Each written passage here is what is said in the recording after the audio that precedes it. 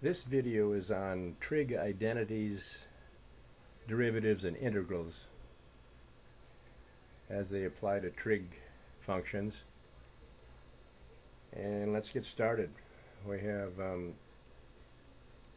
second alpha allows you to put letters into the calculator or the screen. I, N, D, E, X, alpha 8, and close parentheses. The close parentheses tells the calculator that you're going to do a program, that you want to do a program, and the index 8 is just what I arbitrarily call my menu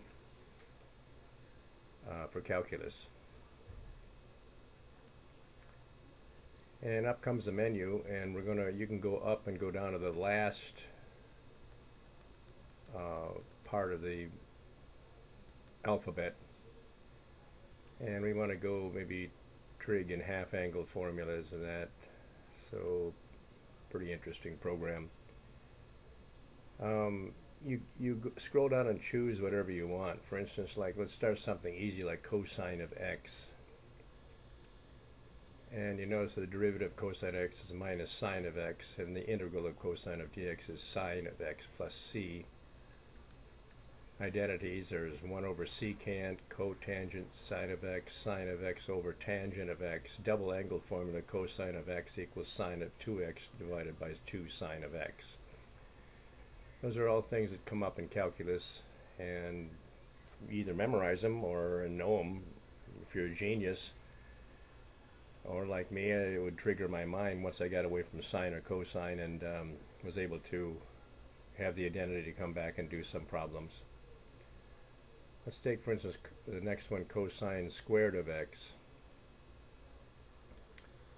Half angle formula is equal to 1 plus cosine of 2x divided by 2. Pythagorean identity is 1 minus sine squared x. Derivative,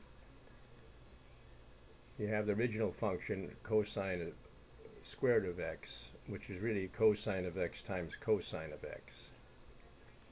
And so you have the product rule here, which we use f prime then would be cosine of x times the derivative of cosine of x plus the derivative of cosine of x times cosine of x.